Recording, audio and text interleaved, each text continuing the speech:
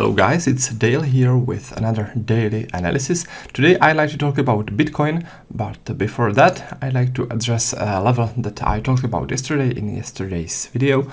And that level was on the New Zealand dollar, US dollar, so that's what you see before you. New Zealand dollar, US dollar, 30 minute chart. We talked about this uh, downtrend and about two significant volume zones here. This one and this one. I said that the first one was a bit riskier, but in the end, as you can see, the price reacted to it very nicely, and this was the reaction to it. There was a nice confluence in the end, uh, where there was the first deviation of a VWAP, this is the gray line, and also the volumes. So those two met, created this confluence of the first deviation of the VWAP and volumes, and the price reacted nicely to it. Now, the second level, which I talked about, the second resistance was this one at 0.6080. As you can see, there was a reaction to it, but unfortunately the price turned just a touch before the level.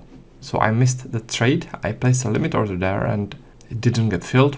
As you can see, the price turned a little bit sooner. So the test came this is a clear test of this volume cluster and for that reason I discarded that level. I won't be trading anymore as it has clearly been tested with this move. Alright, the price turned 1.4 pips before the level. Tough luck. Now let me switch over to the Bitcoin chart. So uh, this is it, Bitcoin 30 minute time frame. Uh, if you want to get data for that, uh, you need to go to the control center in here, uh, connections and connect to Coinbase, right? This is a default connection that's in every NinjaTrader 8 software. So you click that, you connect to Coinbase and you'll have data for Bitcoin. And what I want to talk about in here is a strong day trading resistance, which is right there at 19,700.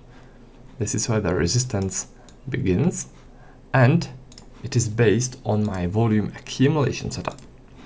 Bitcoin was in very long rotation and finally this price channel broke and Bitcoin went into a sell-off which was telling us that strong sellers were building up their shorts in this rotation and then they pushed the price downwards.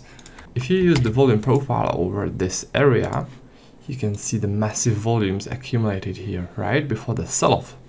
And this is a place which is clearly important for the sellers, because those sellers were building up their shorts there, then they pushed the price downwards, and it is very likely that those sellers will want to defend this heavy volume zone where they placed a lot of their shorts, right?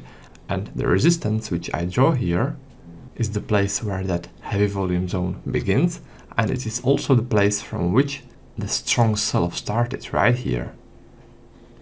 This is where the price broke out of this price range and went into the sell-off.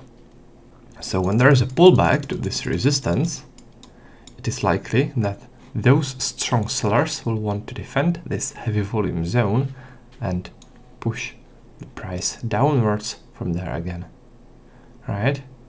Now for this kind of trade, you need to use a bit wider stop loss. I recommend placing the stop loss in here, which is uh, just a bit above the 20,000 mark. Alright, this would be the stop loss for this trade. Reason being is that it is above this swing point, the last swing point before the sell-off started, and also it is behind this heavy volume area right? The price shouldn't go past this heavy volume zone. If it does, then the resistance failed and there's not really any reason to hold onto that chart anymore. Alright, so that's about uh, the Bitcoin. By the way, there's also one more thing that I like here and that I haven't mentioned yet. It is the first deviation of a VWAP. This one, this gray line. Getting close to that resistance if it's somewhere in this resistance area, when the price makes the pullback, then it will be nice confluence and it will strengthen the resistance. All right. But obviously, I can't guarantee that the VWAP, I mean the first deviation of a VWAP will be around as it is always moving, but if it is around, then it will strengthen the level, which would be nice, right? So yeah, that's about that. That's my take on Bitcoin. If you guys are interested in learning more about trading with volume profile and if you would like to trade alongside me every day, then what I recommend is visiting my website. This is it, trader-dale.com. And what you want to do is click this yellow button which says trading course and tools. So let me click that, scroll down a bit. And what I recommend is getting the Elite Pack. The Elite Pack is a recommended training pack in which I'll teach you how to trade with volume profile. There's a video which you can watch and in the video you can learn everything that's included in the Elite Pack. Just in short, it includes video course, which is a 15 hour long video course on volume profile trading.